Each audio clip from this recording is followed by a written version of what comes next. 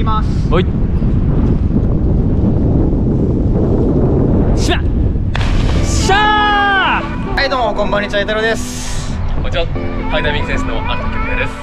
よろしくお願いします。しえー今日の動画はですねゆうたろうパルクールの人が初めて 10m の飛び込み台にチャレンジするという動画になってきます。パッと見今見た感じはいけそうですね今回の動画は、まあ、よくある 10m から飛び降りてイエーイっていう動画っていうよりもせっかくプロの飛び込みの選手にこんなにいい場所を、えっと、用意していただいて教えていただけるのでもちろん飛び込むことはゴールなんだけれど気合で飛び込むんじゃなくてしっかりとした過程を学びながらやった上で技術を持って上から飛び降りるっていうのを今日は目標にしていきたいと思います。よろしくお願いします。お願いします。じゃあちょっと順番にはい登ってってみますか。わかりました。じゃあ見てきます。さあ第1ポイントはこれは何メートルですか？えっ、とここは練習でしか使わない高さなんですけどえっと2.5メートルっていう高さとあとその3メートルっていうオリンピックとかの競技とかでもある高さへですね、まあよくあるちょっとした海岸沿いのはい。その、これ多分俺今すぐバックフリップをめきるぐらいなんですわいやでも水はもう世界一安全なクッションって言われてるんで。わかりました。地球上で最も安全なクッション。わかりました。まあ今まだこうやって足をやる余裕ありますから俺。あのー YouTube だからって言ってふざけるつもりもももちろんないし気合い出せばもう降りれば飛び降りれちゃうこともあると思うんだけどそれは違う。えー、何メートルですか？これは。5メートルねああ高いっすねまあでもこれもいけます。これも全然いけます。でもちょっと立ってんのが少し怖いかな。足フラフラしちゃう感じはあります。これ正直な話。ちょっと風強くないですかこれ。いやこれで強いと見てくださいわかりました。よし。じゃあ。よっしゃー。だんだんね見えてくる景色がね変わってきましたね。ああ見えてくるはいはいはいはいはい。7.5メートル。高い。高いわこれは怖いっすね。普通に俺は。うわマジかこの上あんのか。ちょっと舐めたかもしれない正直。でもいけます。まあいけますいけますいけます。でも結構限界に近いかな。早く10みたいっす。よしじゃあ行きましょうか。うわーこれ怖いな。落ちそうで怖いなそもそも。この過程がね大事なんだよやっぱり結局は。じゃあ行っちゃってください。はいまあ同じ 10m を飛ぶにしてもどういう過程を踏んだかっていうのでその先の成長が変わってくると思ってるから俺は。うわーすげえわ。うわーうわーうわー。うわー嘘でしょ？うわ嘘でしょ？うわマジか。いやー。うーんでもうわー。とりあえず今日の飛ぶ高さは確認しました。自分の目標っていうのをしっかり見定めた上でそれに対してす正しいステップを踏むという作業。もうこれは俺がパルクールで培ってきた、まあ、障害に対して何ができないのか何が問題なのかっていうのをここから今回コーチがいるからコーチと一緒にコーチって言わない方がいいですか？あでもコーチってコーチ。コーチがいるんでまあ余裕かなと余裕ですね本当に。多分多分まあ余裕だと思いま全然余裕です。もう運動神経お化けだと信じてるんで自分は。ゆうすそうなんですよ。何でもできるんで俺。一時でいきます。よし。基本の飛びの練習です。2 3でちょっと3で OK せーの123完璧大丈夫です。でこれがその水に入る感覚なんで、はい。まあ慣れてきたらそのどういうふうに入ればいいかとか入った瞬間にまあ鼻に息出せばその鼻入らないよってかっていうまあテクニックもまあ教えれるんで、もう何回かやってみましょう。気をつけ。おー。気をつけ。おー。いいよ気をつけ。こう反っちゃっしたよね。反っててこうあ。斜め変わっちゃったよっ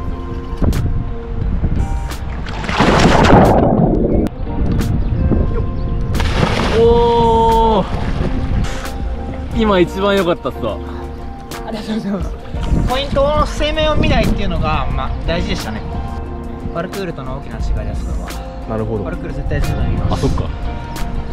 次は飛び板ですってあれあれをね飛ばなくちゃいけないんだけど、まあ、まずはこの 1m からいきます。気をつけおお素晴らしい。今良かったっすよね。今めっちゃ良かった。っす、だんやっと高く飛ぶイメージがついてきました。パワー。はい。合格もらったんでようやくこれこっちの方行きます。こちら 2.5m になります。はい。行きます。はい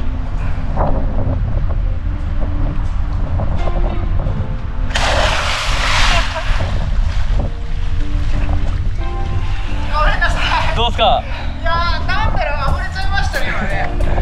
多分高さが変わってちょっとジタバタする下着してしまいたくなる感覚が今分かったと思います。そうかそうかそうか。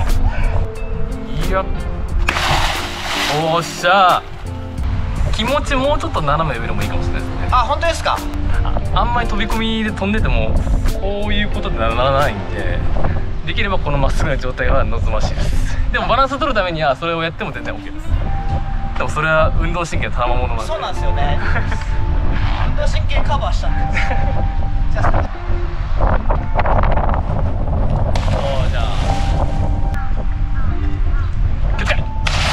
あ。ちょっとね5メートル来たんですけど少し怖くなってきましたね。10m の半分の高さです。はい。行きますは関係ないと思うので習ったことをしっかりできるかの確認をしてもしダメなら向こうでまた練習するっていうことですよね。ああでもよくご存知で。やっぱりその一回これダメだったらそのもう一段階前の段階で練習してもう一回トライするっていうのはすごい大事で。すごい当たり前なことだけどまず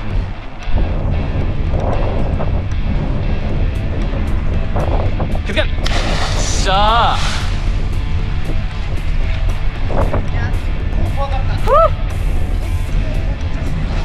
いやーでもちゃんとまっすぐ入ってました。バッチリです。怖かった怖かったなーっていうそのテンションじゃないですよ今。怖かったっすよ今結構怖かった空中が怖かった。ありがとうございます。ここからまた練習します。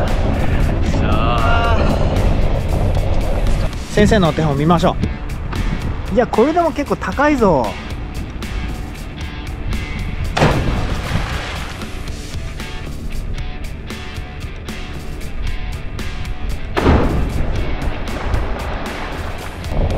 はい7.5来ました。えー、高さは高いね。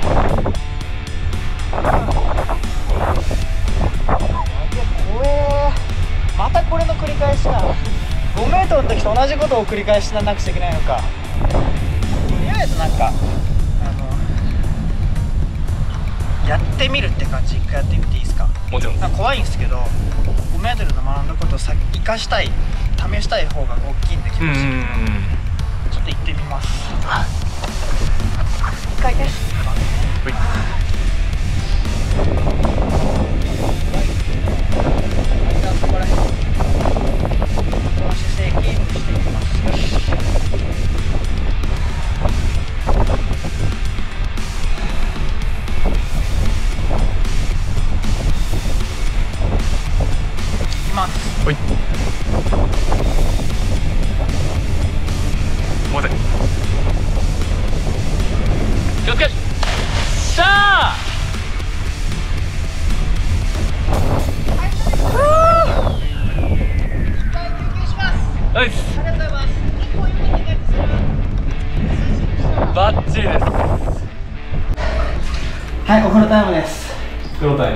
れ大事なんですよね。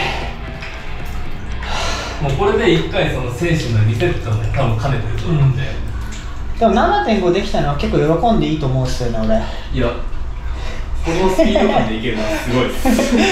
あの、はあ、緊張がほぐれてきていろいろ出てきますけど。実際に見る高さと飛ぶっていうのは結構別っていうのがだんだん分かってきました。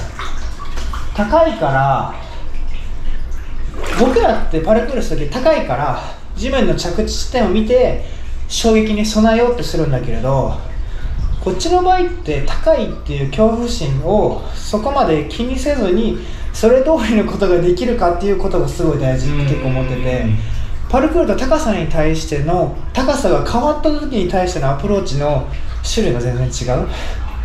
うん。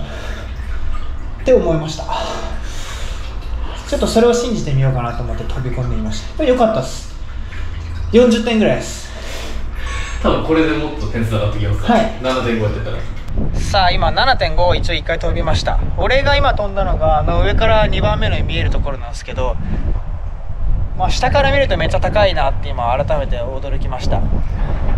上に立ってみると、まあ、立ってる景色がすごい見えるからそれで目いっぱいになっちゃうんですけど下から見て改めてこうやって確認するとあそこから飛んだんだっていうのはすごい実感湧くと思うんですよね。ね。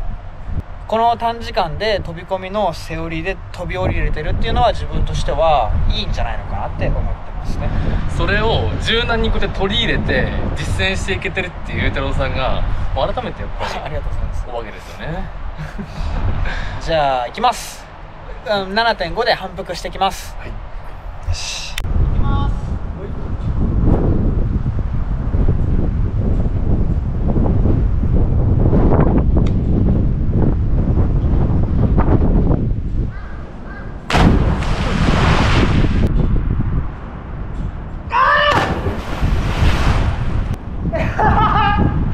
最悪だ胸抜けちゃったのかなそうちょっと胸抜けてました悔しい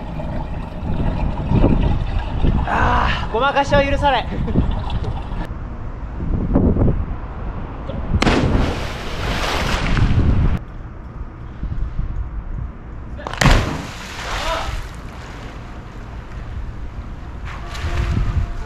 今の最高でしたよっしゃー7.5よくよかったですよね今ね。今一番良かったんですよ実じゃはこのまま 10m 行って同じことができるのであればもう確実に飛べます。行きましょう。よしじゃあ行くぞ 10m 本当にい一番低いところからやっていたものがこの一番上でできるかっていうのが大事。これがそれをしっかりおお届けすると。いや今もう着実に高い位置に上がってきてますからね。今 5m 超えですよね。5メートル超えたらしいですよ。そっかまだあれあそっかここはもうさっき超えた場所か。あ階段長いな。階段が長いな。ちょっと心拍数上がってきました。正当な反応ですさあ状態で今習ったことをしっかりできるかが大事。高い。高いな。うわ。でやること一緒なんで。とりあえず今集中して。よし。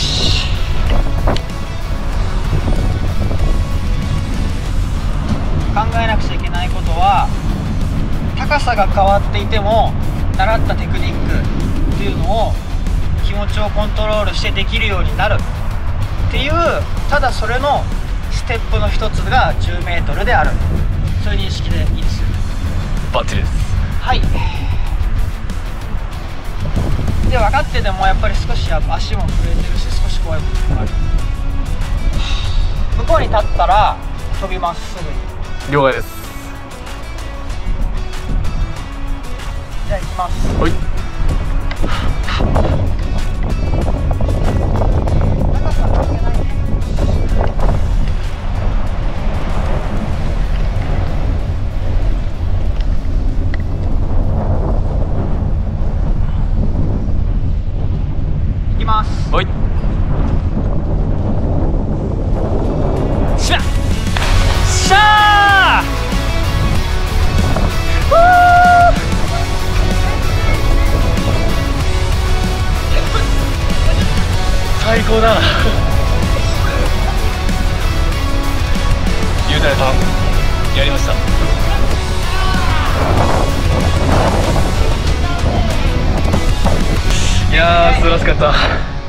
ちょっと反省点多いんでもう一回言っていいですか？もちろんです。この間髪入れず即行く。チャレンジ精神想定してたより滞空時間が長いから耐えれなくて膝曲げちゃいました。うん。見えてました。今動画確認したら一発目着地の瞬間は映ってなかったんですけど でもチャレンジとしてはこれをやることはチャレンジでしたけど練習がすごい大事なんで何度でもやれますここから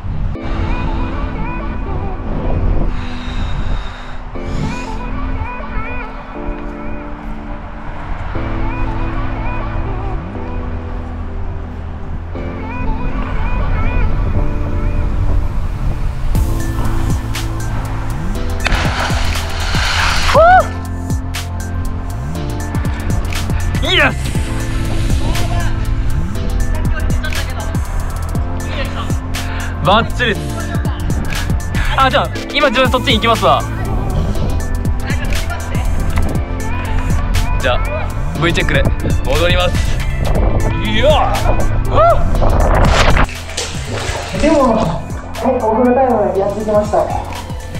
よく2回も飛びましたね。いやこの 短スパンでポンポン行くのは見たことないです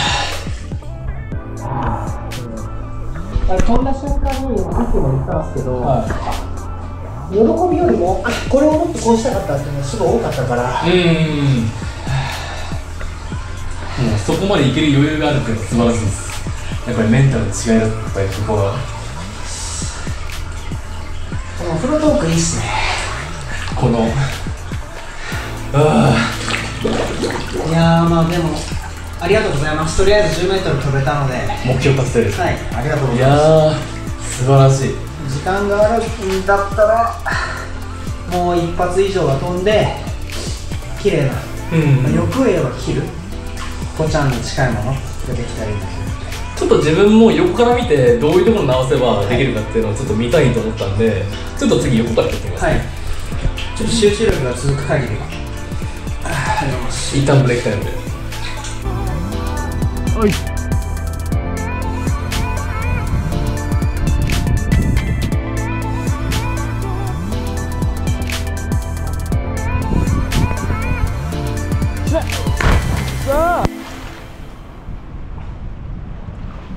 すごい。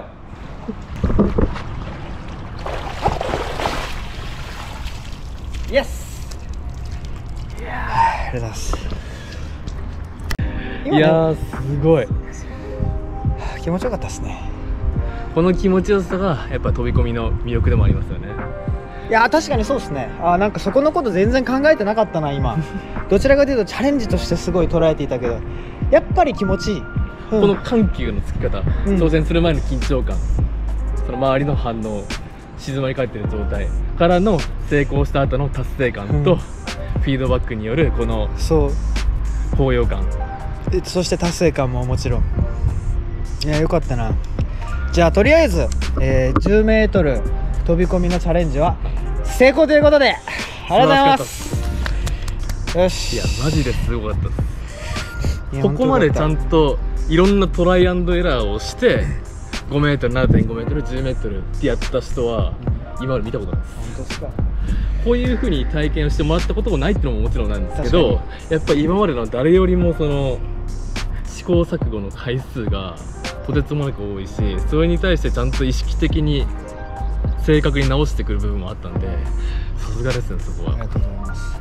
まあ、俺がパルクールの人としてやっぱいろんなスポーツとかやってる理由も一つそこでパルクールの人って考え方がちゃんと整って考えてるよねみたいなことをこの 10m 飛び降りチャレンジ飛び込みチャレンジ。う ん飛び降りてるつもりだったけどね。飛び込みチャレンジでもパルクールで自分が養ってきたその物事の組み立て方とか、うん。気持ちの整理の仕方っていうのも表現できたらいいと思ってたし恭平君の大事にしてる飛び込みの部分っていうのも誰でもできるようになるよねっていうステップがしっかりあるっていうのも伝えられるいい動画になってたら嬉しいですんな感じで、えーありがとうございました。ありがとうございました。京平くんの方の YouTube でも、えーコラボの動画上がるので、えー、とぜひそちらも見てください。はい。じゃあまた次回の動画でお会いしましょう。よし